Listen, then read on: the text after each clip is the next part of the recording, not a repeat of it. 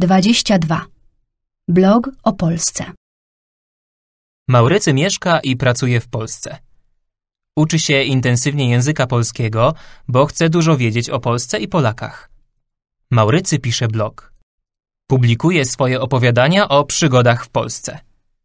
Czyta artykuły i teksty o polskich tradycjach, kolekcjonuje książki o historii Polski i znanych Polakach. Jego koledzy często opowiadają mu o polskich przyjaciołach, sporcie, kulturze, sztuce, kuchni.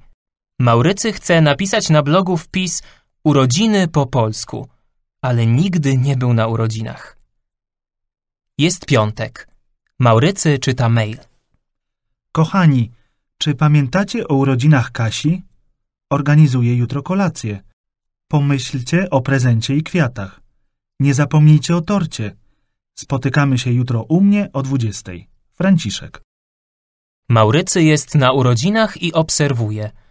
Widzi, że Polacy pamiętają o urodzinach bliskich osób, pięknych kwiatach, torcie i prezentach dla jubilata. Na przyjęciu siedzą przy stole, dużo jedzą i piją. Cały czas dyskutują o sytuacji politycznej w Polsce i na świecie. Non-stop opowiadają o swojej pracy, szefach, kolegach i pieniądzach. Bardzo dużo mówią o zdrowiu, lekarzach i problemach. Tylko dlaczego robią to na urodzinowej kolacji?